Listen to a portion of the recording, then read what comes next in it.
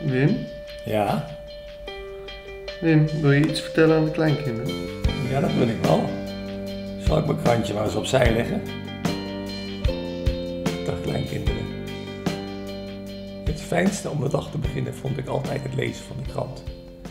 Heerlijk. Voor, tijdens en na het ontbijt even het krantje lezen. Dat vond ik zelfs zo geweldig dat Elske, oma Elske tegen mij zei... Wim, die Volkskrant die gaat de deur uit. Die is zaterdag zo dik dat als jij om half negen begint te lezen, dan zit je om één uur nog te lezen. En dat kan niet, want je moet boodschappen doen, je moet met de kinderen weg. Er zijn een heleboel dingen die in het huishouden moeten gebeuren. Dan kan jij maar niet blijven lezen. Nou, daar was ik het wel mee eens. Maar het was wel jammer dat ik de Volkskrant moest opzeggen. Nou praat ik tegen mijn kleinkinderen. Maar ik weet niet of ze er zijn. Ik weet niet of jullie jongetjes zijn. Ik weet niet of jullie meisjes zijn. Niet hoe oud jullie zijn. Ik weet zelfs jullie namen niet. Ik weet alleen dat ik het heel erg leuk vind als jullie er zouden zijn. En dat ik het ontzettend jammer vind dat ik er zelf niet meer ben. Want ik had heel graag met jullie eh, gespeeld. Ik had graag op jullie gepast. Met jullie eh, achter de wandelwagen gelopen. Met jullie een balletje toegerold, gespeeld. Als jullie wat groter geweest waren, naar musea gegaan of naar jullie sport gekeken. Dat had ik enig gevonden om met jullie mee te leven, om te zien hoe het met jullie zou gaan. Maar ja, het mag niet zo zijn. Dat gold niet alleen voor mij hoor. Dat gold ook voor oma Elske. Die zou een fantastische oma geweest zijn. Maar ja, die is ook te vroeg overleden om jullie mee te maken. Die kon voorlezen, zo goed.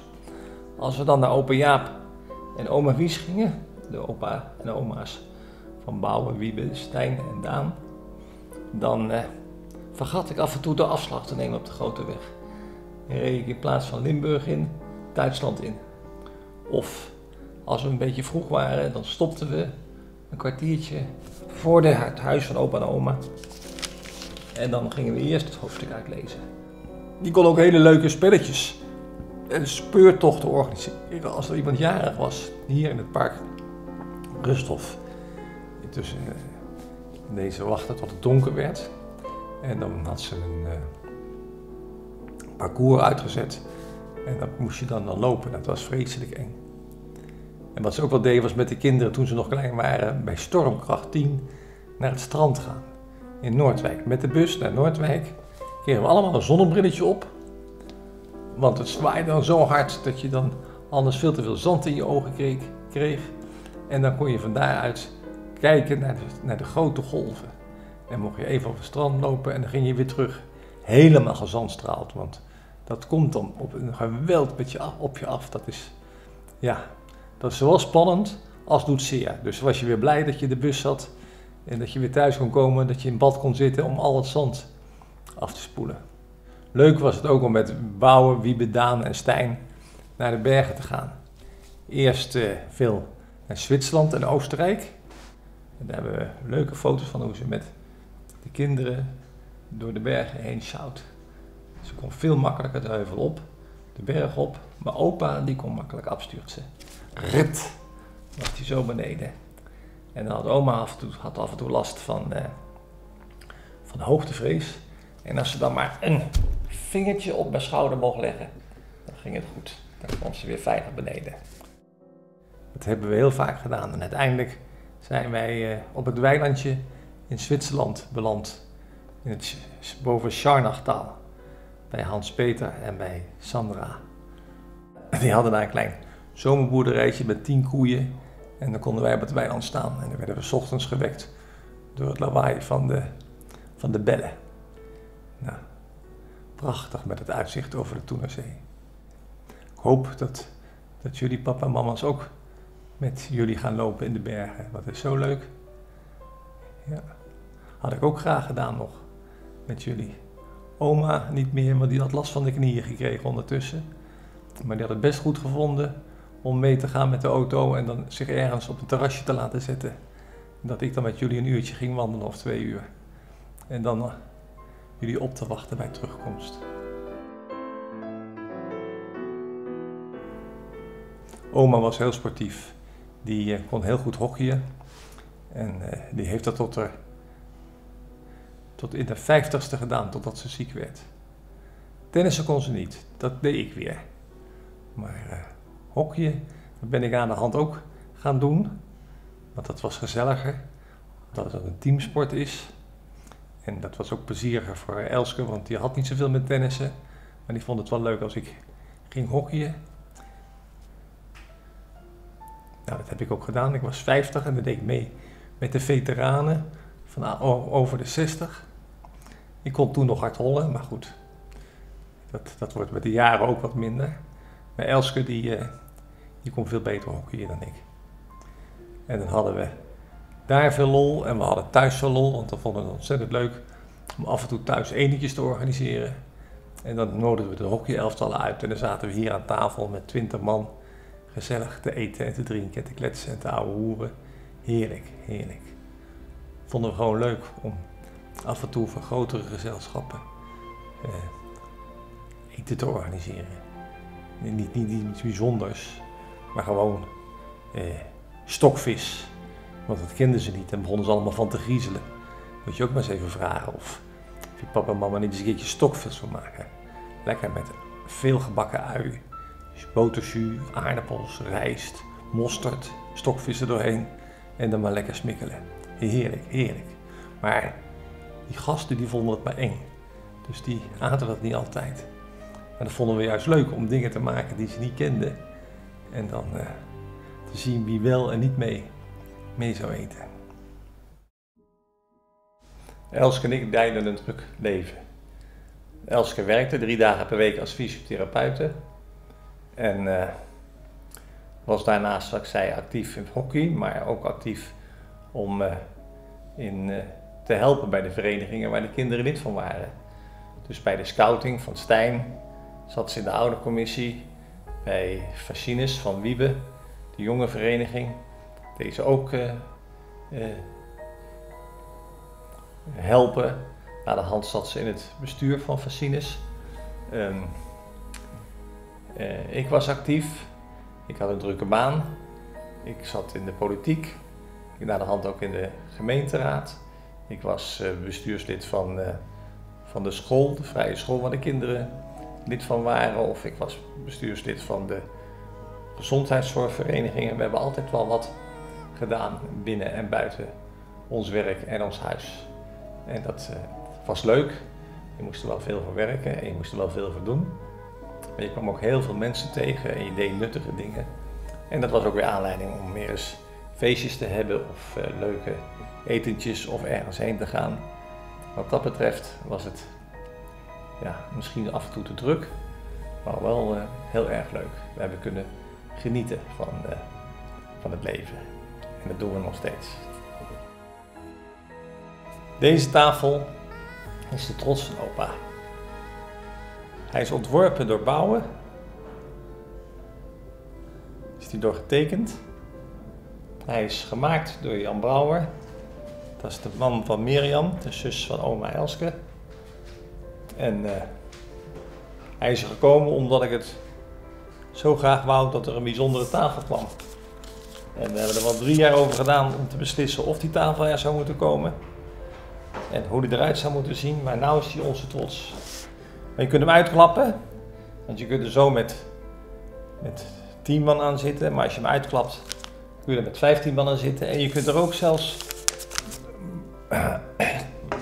uh, bladen bovenop leggen en dan kun je met 24 man hier aan tafel zitten. En ik heb al gezegd, we vonden het ontzettend leuk om af en toe grote groepen mensen te eten te hebben. Maar met kerst was het zeker raak, want dan kwamen Mirjam, Carla en Jan Bouwen, de broers en zussen van, eh, van Elske kwamen met hun kinderen dan hier eten. En na de hand kwamen ook de kinderen van Annemarie hier erbij. Dus dan waren we hier met 27 man om, uh, om gezamenlijk te eten met kerst. Of met Pasen eieren te tikken. En het was ontzettend leuk dat in dit huis ook Wiebe en Stijn en uh, Annemarie en ik getrouwd zijn. Want toen hebben we hier wel met 70 man gegeten bij Wiebe en Debbie. En met 120 bij Stijn en bij Carolien. En met wel eh, ook zoiets van 120 of iets meer met Annemarie en mij. Hoewel het laatste meer een lopend buffet was dan aan tafel zitten zoals bij Wiebe en Debbie. Maar het ging net hoor, 70 man in dit huis. Was ik apen trots op. Ja. Hier zien jullie de blauwe tegelkachel. Uh, opa en oma hadden gekozen niet voor een open haard, maar voor een tegelkachel. Want daar kun je zo lekker tegenaan zitten of tegenaan staan. Want die, je stookt in deze kachel, stook je hout of gas en het wordt dan heel warm. En dat houdt die warmte vast, die tegels en dat vuurbeton. En ja, als je te heet stookt, dan kun je er niet tegenaan staan. Maar als het wat afgekoeld is en je komt van buiten en je hebt geschaatst of je is buiten nat en koud geweest, dan is het heerlijk om er even tegenaan te staan. Of we hadden we hier een bankje voor staan en dan kun je er met zijn rug heerlijk tegenaan zitten. Ja. Elske en ik hebben er vaak tegenaan gezeten, Annemarie en ik. En ook wel met de kinderen. Even met Stijn een glaasje whisky drinken of zo. Of met wieben of bouwen. Daan heb ik geloof ik niet zoveel whisky mee gedronken hier tegen de kachel aan. Ik vind ook wel een mooie plek om straks iets over Bouwen, Stijn, Wiebe en Daan te vertellen. Maar dat komt straks wel. Want je moet tenslotte ook een paar rondeltjes weten van je papa. Je moet natuurlijk ook een beetje zijn dat je denkt, hoe was papa toen hij klein was? Ja, ja, zal ik straks vertellen.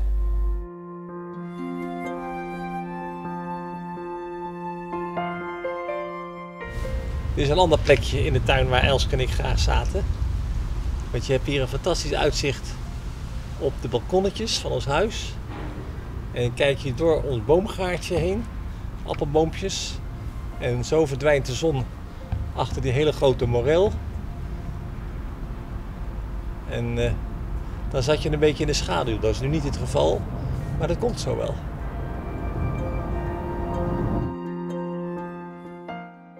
Het was een prachtig feest.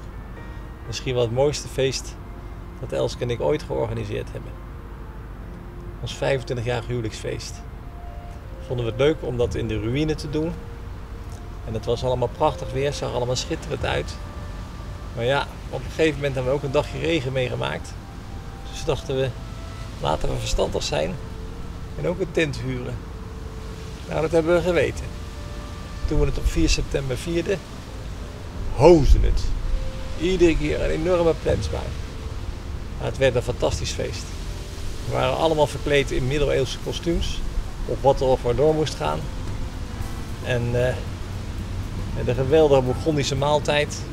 Met rauwe makrelen, of met makrelen die ze zelf moesten schoonmaken met de handen. En varkensknietjes en andere dingen. Ja, het was, het was ontzettend leuk. En het was van smiddags 2 tot geloof ik s'avonds 12 uur. Dat was, dat was heel goed. En hier heb ik gezegd, hebben we ook feesten gehad. laatste feest met Elske was toen we 35 jaar getrouwd waren. En uh, dat de, de, band van Wiebe hier aan het spelen is. Uh, die had hier de drummer neergezet. En die zat dan tussen de appeltjes. En Wiebe stond op het derde plafond, het tweede balkon te zingen. En de gitaristen stonden op het tweede balkon te spelen. Heb altijd leuk gevonden dat je heel veel dingen in je eigen huis kunt doen. Eh, en dan maakt het niet uit dat het wat krap is of dat je wat moet improviseren. Dat is, dat is leuk. Eh, en dat waren de hand met die bruiloften ook van, van Stijn en, en, en van Wiebe en van Annemarie en mij. Paste natuurlijk aan de gene kant. Maar het is veel te leuk om dat thuis te doen met een eigen bandje, muziek, eigen gezelligheid, met eigen informaliteit. Vier je feesten. Dat was het motto van Elske Meijer na de hand ook van Annemarie mij. Als er aanleiding is om een feestje te houden, gewoon doen. We hebben ook wel eens een keer een feestje gekregen. We zijn met de kinderen veel op landgoedkampen geweest. Dat was twee weken kamperen bij een kasteel of bij een uh, groot landgoed. En dan moest je s ochtends moest je dan in het landgoed werken. En smiddags en s'avonds had je vrij.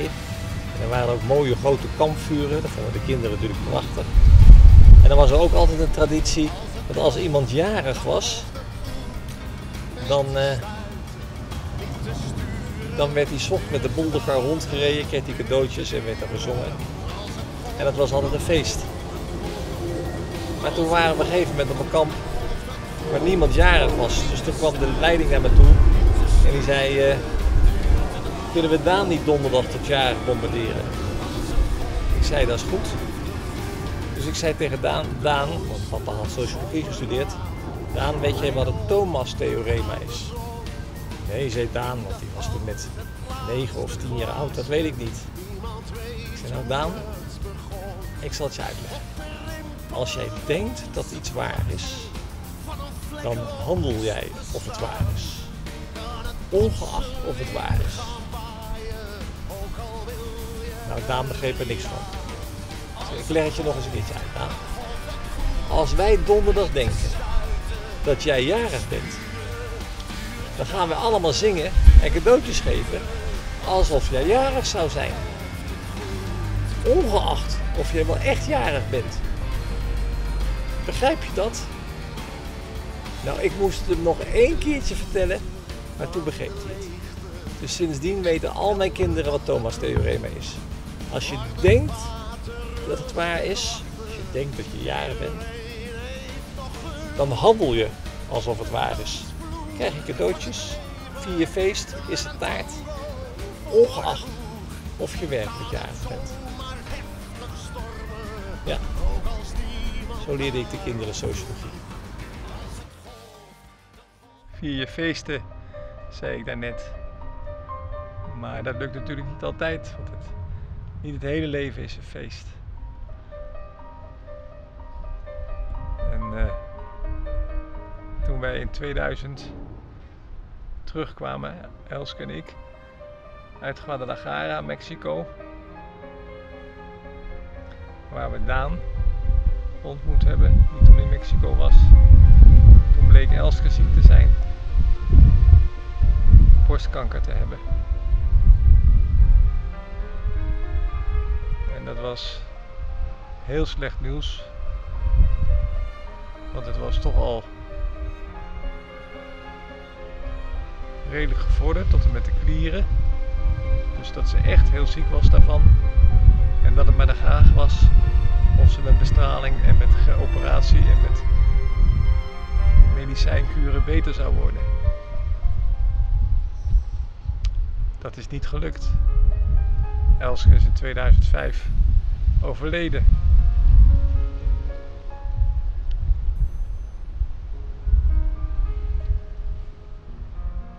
En tussentijds hebben we wel gevierd af en toe wat het te vieren was. Maar het motto ging toch meer zitten van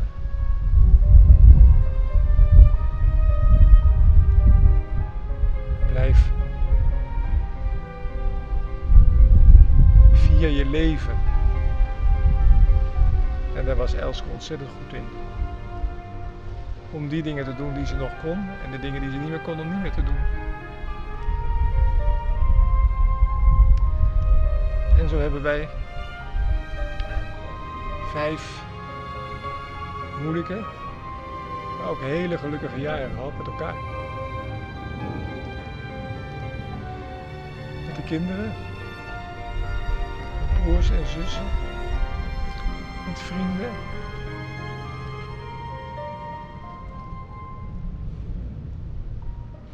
Dat was, dat was zwaar, maar ook heel mooi.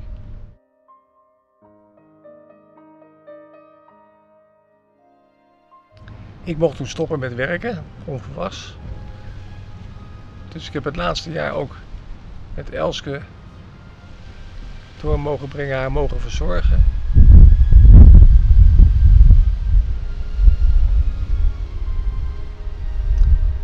Toen zij in oktober oktober 2005 overleed, waren we allemaal zo trots op haar. En op onszelf. Omdat zij er zoveel van gemaakt had. En wij zo ons best gedaan hadden. En we blij waren dat het zo gegaan was. Tot het laatst heeft ze van het leven gehouden. Zin om te leven.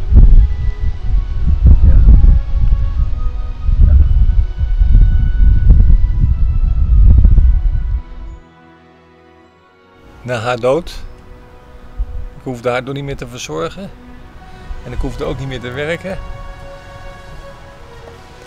heb ik een voetreis ondernomen naar Rome.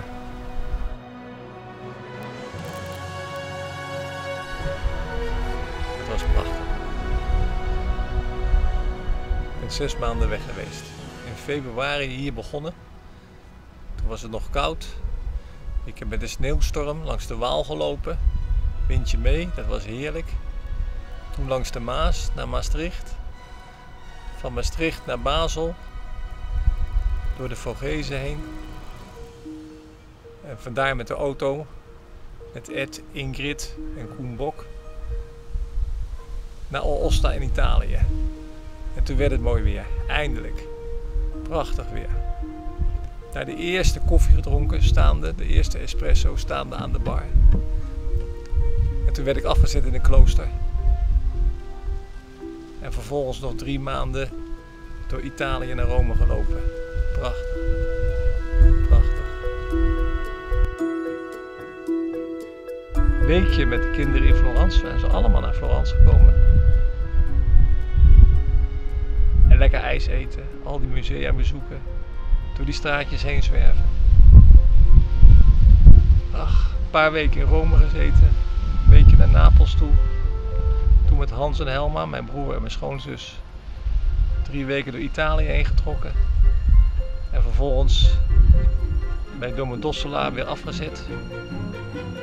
En met Piet Hein naar Interlaken gelopen, dwars door Zwitserland heen. Door de Alpen. En vandaar met Sjaak en Betty door richting Basel. En toen ik in Basel was, met Sjaak en Betty met de auto weer naar huis gereden. En toen kwam ik thuis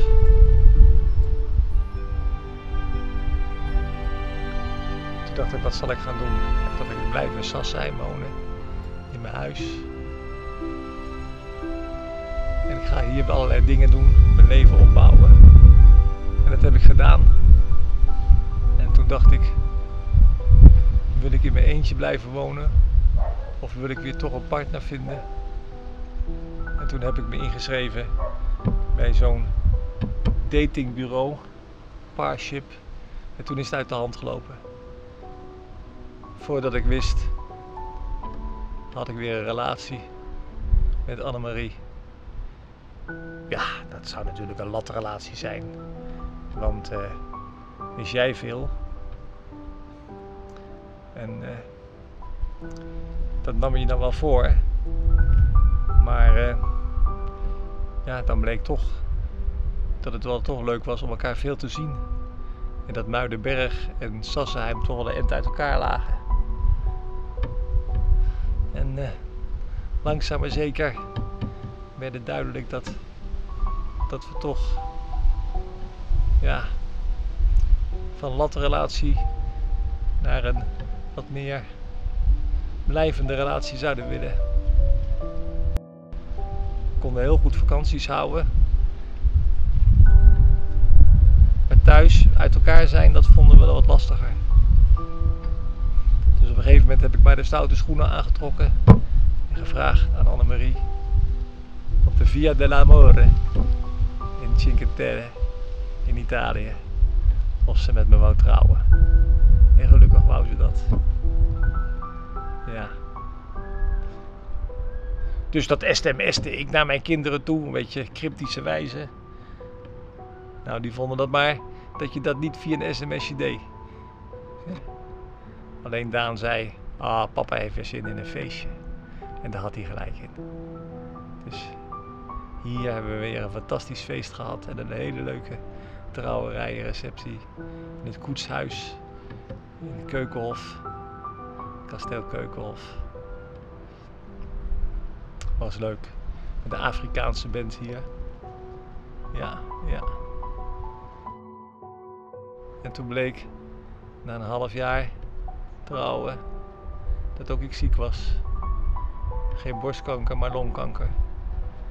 Wel niet rokers gerelateerd, maar toch. En dat de levensverwachting van opa maar beperkt zou zijn. Tussen een paar weken en een paar jaar.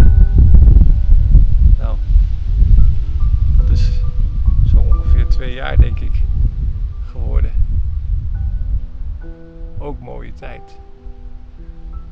Ook moeilijk, maar ook heel mooi. Doordat je het samen zo intens kunt beleven met Annemarie, met je kinderen, met je vrienden. Iedereen is dan zo betrokken. En je bent dan zo intens aan het leven. Dat vanaf dat moment, als we weer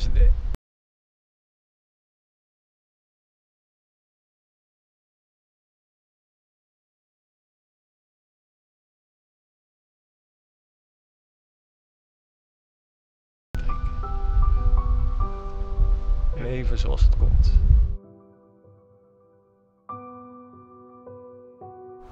Ik wens al mijn kleinkinderen een heel gelukkig en een heel voorspoedig en een heel gezond leven. Maar vooral het vermogen om er iets moois van te maken. À la vie. Op het leven.